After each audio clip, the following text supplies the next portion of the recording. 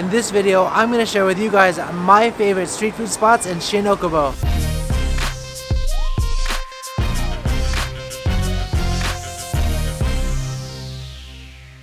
So Shin Okubo is known as Koreatown and the food here is amazing. You won't believe how authentic it is. And today I'm going to try to take you guys to my top 10 spots. My Korean food may be a little bit heavy so I might be struggling to make it all the way through to the top 10. So I'll just do my best and hope you guys enjoy. And guess who's joining me today guys? Maiko! It's good!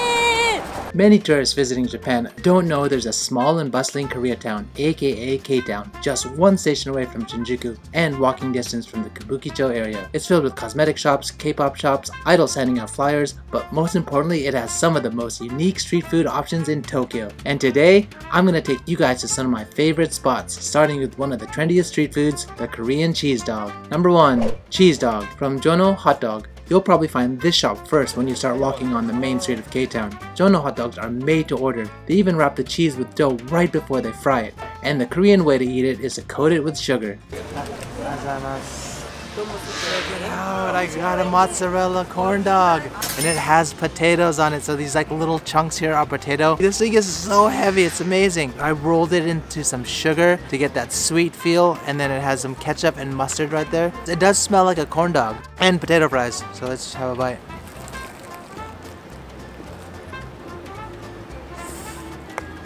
Oh yeah. Oh. That's not a taste you find in Japan ever. It's so rich. You like get the cheese in there, and then this is supposed to be kind of like a savory, salty dish you're expecting, but then you get the sweet hints of the sugar. It mixes well together, but it's a bit shocking. You see all the love in there. See, let me just take another bite. Mm. The mozzarella is delicious. Like I really thought this thing was gonna be oily, but it's not that oily. I think it helps that they put it on the tray so all the oil can leak off. This like truly feels like American festival food. It's like a gut bomb. Like if you really wanted to like fill up your stomach, then this is the way to do it. And they have a rainbow mozzarella here too. And this place actually has sausages inside. And the one at Seoul Ichiba has a spicy option.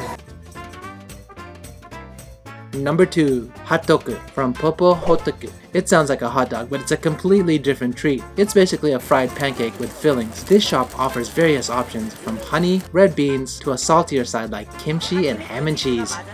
At the honey and cheese pancake. Oh, you can really smell the honey. Oh, my hands are getting sticky too, and it's like fresh off the griddle. Let's take the first bite. Mmm. Oh wow. You know what it reminds me of? Like if you ever had a churro, kind of tastes like that, like a really hot, fresh off the fryer churro. The bread itself is chewier, but they definitely like, I feel like they put some cinnamon on here even though I didn't ask for it, which is really nice. Oh, there you go. So there, you can see the cheese right there. It's like embedded inside of the pastry. Very, very delicious treat. Number three, Fried chicken from Kanhodan Chicken 678. K-Town is definitely not short of fried chicken shops, but this shop's chicken has some of the crispiest in town. So this is one of my favorite fried chicken places in Shin Okubo. This is like half a set. There's eight pieces. Looks so good. That lovely goodness. Cap'n Crunch ain't got nothing on this.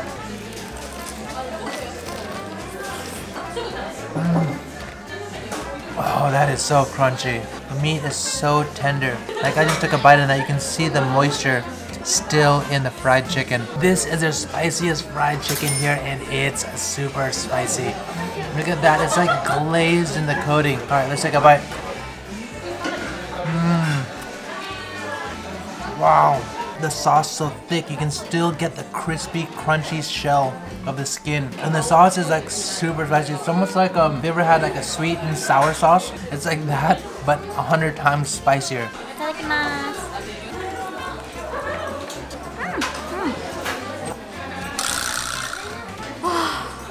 My nose is running already for the first part. This is super, super spicy. Oh my god, it's my mouth is on fire. It tastes good, it's sweet and salty. It's not Japanese spicy, it's Korean spicy. It's been five minutes since I ate the spicy fried chicken and look at this. I'm like, I'm still sweating. We're eating so much food today. I can usually do 10 because they're like light meals, like very Japanese, but man, all the food we're eating today is so heavy. Look, there's eight pieces here. There's eight pieces here. I don't know if we're gonna be able to finish all this. Mmm.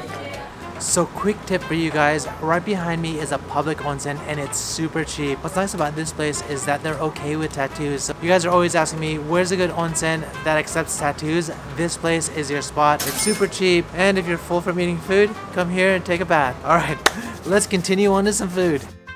Number 4. Sannakji from Taejeondae. Sannakji literally translates to live octopus in Korean, and it's one of the more unique food experiences in K-Town. Warning, skip this part if moving food makes you squeamish. They just cut it up and it's so fresh. This is my first time I've ever had it. I wanted to try this place for a while now and uh, this is the first time I'm showing you guys. Alright, I'm gonna have this one. Oh, it's like sticking to each other. Oh, yeah, they're like the suction cups. Oh, it's on my skin. I'm like trying to. You're fighting. I'm trying to grab it, but they're fighting. Look, they're, they're not letting. They're not letting go. Oh, look at that! It's moving in there. Oh, it's like it's self-saucing itself. It doesn't like the salt. Mm. That's weird. It's moving in your mouth. Hmm. I don't know how I feel about this anymore. Like when you first put it in your mouth, you taste the sauce, kind of like really slimy and like kind of moving around in your mouth. After you bite it a few times, it doesn't move so much anymore. It's not like trying to like grab you or anything. You can see like after a while, it just, it stops to move around so much. But I think if you shake it like this, then it like moves around. Have another bite. Hmm. oh. Suction the, the side of my cheek. Okay, so I also have never tried this before. I think it's not so moving anymore, so I think it should be fine. Maybe like small one. Oh, maybe this one. No, get one with the tentacle. No, I'm really no good with grotesque stuff. Please calm down. Please calm down. でも塩がダメなんだろうね。Oh, mine doesn't move in my mouth. Mmm, pretty pretty. Mm, 美味しい美味しい. It tastes super good. I don't want to look at this when I eat it. So this to me is like the freshest sashimi you could ever have. I don't know, but it just doesn't feel right for some reason. I don't know why. I mean, I've had like a lot of fresh fish before, but I don't know. What do you guys think? Would you guys try something like this? Is it like too fresh? Anyways, let me know in the comment section. Number 5. Tteokbokki from Jongno Hotoku. This is the same company as the other Jongno, but I had to include this shop for its various menu items, dakgalbi, fried chicken, and hotoku. But today, we're throwing down on one of Maiko's favorites, tteokbokki. Alright, check out this tteokbokki. Mmm, the sauce itself is not too spicy. It is doable, but maybe like the people that aren't like really used to spicy sauce, then maybe you might want to stay away from this. But it is good. I like spicy. But at the same time, it's like a mix of between a savory and a sweet. It's not like super salty and it's not super sweet. It's like it's just like in the middle. I think like the best way I could describe it is like mochi with a Korean twist, like a spicy twist. Alright, so tteokbokki is my favorite street food. It's usually way too spicy for me when you eat it in Korea. Oh, this one has green onion right here. Also has oden. Itadakimasu. Oh, the mochi is not as sticky, but it's so soft, so good. It is spicy. Like the sauce itself is not as sticky as you can see. It's really like watery sauce compared to like things out there. And number 6, Dakgalbi from Peku Teppan. Dakgalbi shops litter the streets of K-Town these days due to its trendy popularity, so this K-Town food tour would not be complete if I didn't recommend one of my favorite Dakgalbi restaurants, Peku Teppan, by the star chef Baek Jungwon. What I love about this spot is it's decently priced while also being delicious. So check this out, this is Dakgalbi. Look at all of that cheese is dripping. That's amazing. I feel like I'm gonna burn my tongue if I have this right now. though. Hmm. That's amazing. The chicken is tender and it just wrapped around with all that cheese and I had a piece of onion in there that just covered the flavors. Like you almost feel like it's like really junky, but I think it is pretty junky. It feels like eating like a thing of nachos with all the cheese. Oh, it's just so good. What's nice about the cheese is that it like balances out the flavors because it could be too spicy with just the sauce alone.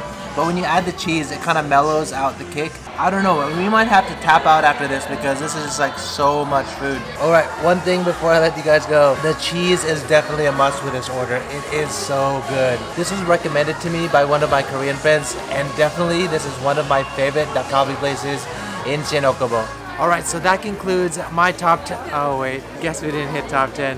All right, so that concludes my top street food spots in K-Town. Sorry I didn't finish all of it. It's just like the food is so heavy here. First time I failed. I'm sorry guys. I'll do better next time. Anyways, if this video helped you guys out for your next trip, help me out and hit that like button. And if you want to see more of my adventures in Tokyo or Japan, hit that subscribe button and the bell button and I'll catch you guys in the next one.